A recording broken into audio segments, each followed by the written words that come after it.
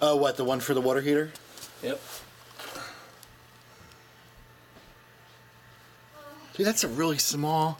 I guess that's all you need, right, for the that thing. What is that? I got Expansion another- tank. I got another one there. If you want it. Yeah, heck yeah. Uh, they were like hundred and some bucks. They are. And here's what we gotta do: is this has a bicycle valve on it. Uh huh. Just push it down like that. Like I got like a a very little bit of air out of there. You did. Right now, when I just opened it, it, it was like, but then it was immediately water. So I think it's because it's pretty much a closed system. It doesn't. so you have to do that all the time. No, I did it once when I filled it, and then once like a week later, but no air really came out of it. And then I think that that was the next time I did it. One out, one in. Yeah, this is the uh, this is the supply. the And I got one's the and uh, here's top what I is did: like supply. 225 feet, That's hot. 172 feet, 206 feet, 204 feet. 172. Wow. Yeah, I got them all. Dining room. And these are all the returns, and and you can feel the heat of going out. That's coming back. It's not that much different. What's the temperature say? Uh, that's going out, right? Yeah. So it's like 100 and I don't know, 15. And then what's the temperature coming back in? Uh, it's like 100.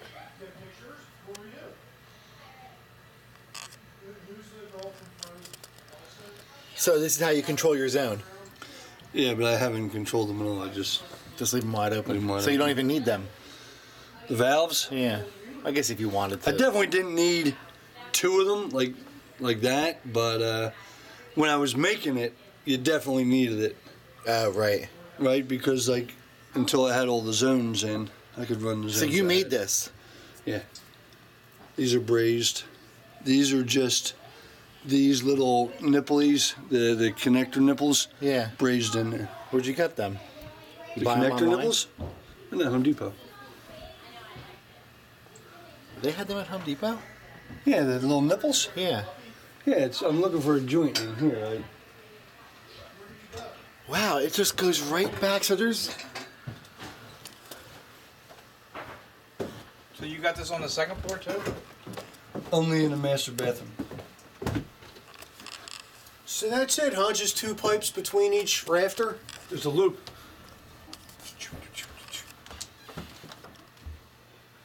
Dude, that boiler looks very similar to mine. Yeah. See, these are that's the steam pipes. It's a steam system, so it's Oh. one pipe to each radiator. Steam goes up, condenses, and runs back through the bottom of the same pipe. Right. And you're and this definitely knocks water m- money off your bills for heat. Oh, this? yeah. Yeah. My electric bill jumped to like 400 a month, but I was burning like $1,500 of oil. Uh, now I was running both of them, so I would say Right. my electric was 400 and I don't know because I really did it kind of toward the But end. But it was definitely cheaper. Oh yeah. Yeah, Plus, Chris, now I you're got the right. gas these, fireplace. These bays are a lot wider than mine. So you don't Yeah, have this it. is like 21 inch centers. Yeah, mine are much Dude, now smaller. what, let, These are let's say 16. you did Yeah. twice as much. Would that save even more money? I don't know because this comes on and off during the day because I keep the floors right at like 60. In the cold winter, I keep it to the floors at like 66, and I think that the air temperature is cooler, but you don't notice it because the floors are warm. So, so you really haven't had a full year under No. your belt yet. Nope. No, I'll, I'll know, but I gotta do something because they on now? I It'll got, be interesting to yeah. see when it gets bitter cold how how you, I know. how you feel about it. well, I did have it when it was bitter cold, but I, I didn't have the gas fireplace then. I only had this And the and Oh, the so the- radiators. So this And is it just did, the. like stretched. Uh, instead of going to a, a tank in the month, the last bitter cold month, that tank lasts me through the end of the summer because it's also my domestic. But I won't get a true read because now I put the gas fireplace in, which really heats the whole front of the house.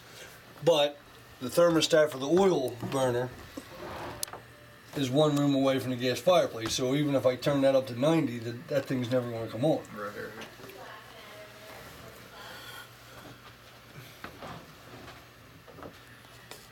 It's very quiet.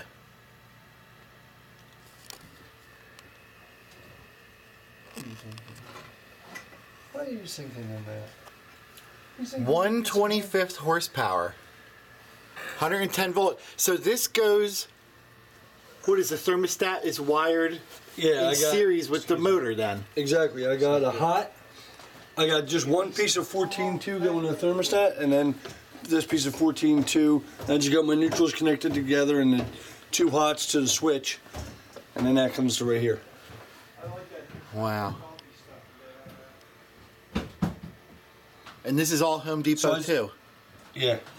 Uh, no, I bought this and that from I think that Johnson Supply. Oh yeah. But uh, I really think like you get that whole air scoop thing. Uh huh. What I could have done was just taken like a piece of a T with a piece of pipe like 16 inches long, and put a valve at the top, or just a 16 inch long piece of PEX sticking up in the air with a valve at the Oh, to bleed it off. and then just. And then and then for six dollars, I could have been doing the same thing as that. Right. the air scoop because really as the air travels through the thing it's it goes up to whatever so What does that do? It gets rid of air out of the line. yeah Yeah, the air goes but it up turns and out the that I water don't goes really down. need it right? I mean I I don't really need it, it like it, like I said if I had like a 12 inch or some kind of piece of pack sticking up with a valve that would do the exact same thing right. This is just air is automatic. It's going supposed go to be automatic. Right. well it's not automatic you got to push that little bike valvey thing up there You do to release it to bleed it. Yeah. Mhm. Yeah I overdid this Her So you're got saying involved. not even a, what? What do you even need a valve for? Well, just to open it and close it. Why don't you just leave it Because you open? then, even with a piece of clear PEX, you could see if there was air in there or not. So this is the clear PEX that you got. Yeah. These little pieces. Yeah, I think there's some tubes. Oh, you did run some clear for, PEX right here. Yeah, that's down in the basement somewhere. Which is better, the orange or the or The the? orange is what you're supposed to use, they say, for the heat. But again, I'm not running the boiler at 165 degrees. I'm running the water heater at 120. Right. So I don't know that it's Right. worth the extra money for the orange. Because you're not running it as hot. Right. Right. Yeah, when I did, you see, like over there was a cold spot, so I just like, when I got the PEX there, I just did like a coil. There's a bathroom, the downstairs bathroom is under there.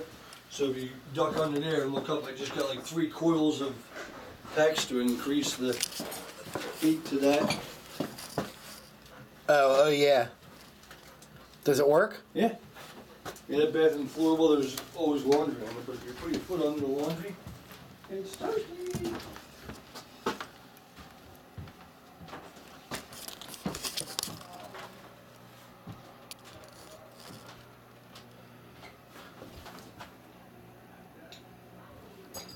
Wow, dude, your your uh, steel pipes are cold. You're not running the boiler then, right? Steam? Right. Yeah. Yeah, there's no steam, the steam is, hasn't been on since last year. Wow. Two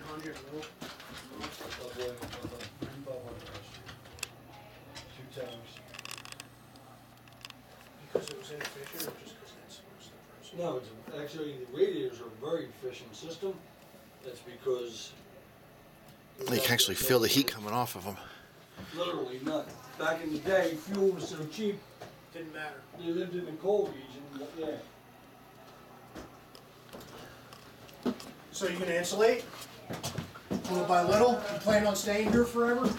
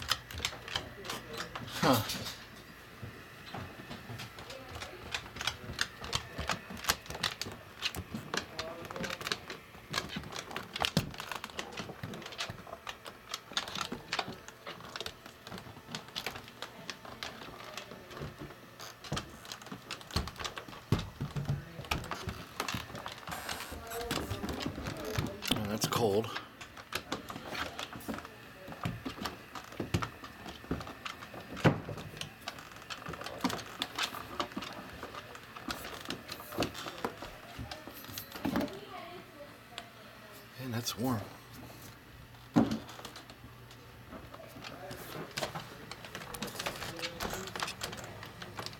Okay, so this is the return.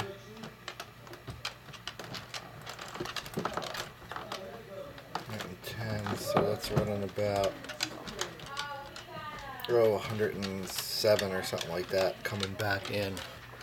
And this is the supply coming out of the heater, that's yeah, about 115 or so.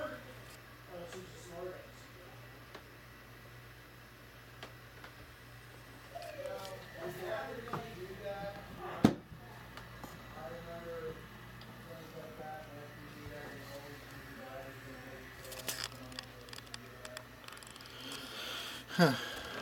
Very cool.